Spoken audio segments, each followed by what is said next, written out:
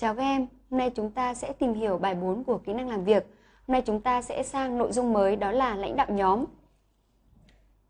Và chúng ta sẽ tìm hiểu phần 1 để trở thành lãnh đạo. Các em lại bắt gặp một hình ảnh rất là quen thuộc. Đấy là gì ạ? Bài học về loài ngỗng chúng ta đã học rồi đúng không? Và đây là một đàn ngỗng đang bay về phương Nam. Một đàn ngỗng trắng, trắng rất là đẹp đúng không ạ?